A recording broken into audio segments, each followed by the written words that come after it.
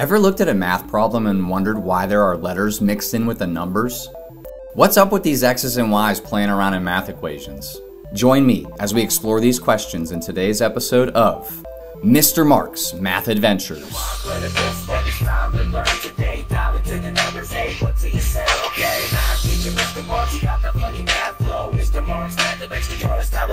Hey math learners, it's Mr. Marx, your friendly neighborhood math teacher. Remember, it's not just about getting the right answers, it's about learning and growing along the way. Before we go into today's adventure, remember to hit that subscribe button and ring the bell to stay tuned for future episodes. And today, we're going to embark on an exciting journey into the world of algebraic expressions.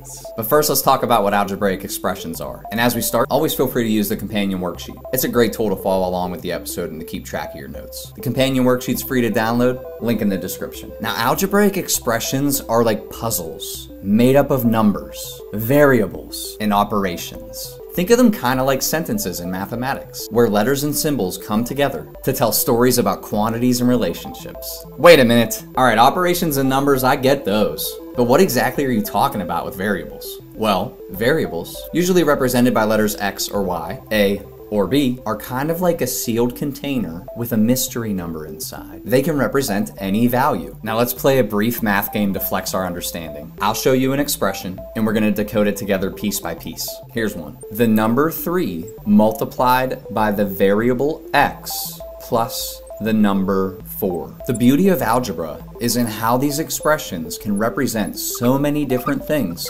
just by including variables like x, which can potentially represent any number. But wait, there's more. Algebraic expressions aren't just about plugging in values. They're the foundation for solving problems, from simple puzzles to complex real-world situations. So why don't we try creating our own real-world algebraic expression? Let's just say you're saving some money. How about 50 bucks a week? How can we express your savings over time, week after week? What do you say we use the variable w to represent some number of weeks? The algebraic expression would be the number 50 multiplied by the variable w. This expression tells us your savings after any given week. With the beauty of algebra, we can determine how much you'll have saved in two weeks, four weeks, in any number of weeks just by including variables like w, which can potentially represent any number. I hope this adventure into algebraic expressions has sparked your curiosity. Algebra is not just about mixing numbers and letters. It's a way to model and solve problems, it's a language to describe patterns, and it's a tool for thinking critically about the world around us. Hey, props to you for taking some time out of your day to do some math with me. I hope you followed along, and if you made mistakes, that's all good. Remember that every mistake is a step towards learning something new. And hey, Mr. Marx Math Adventures is having a giveaway.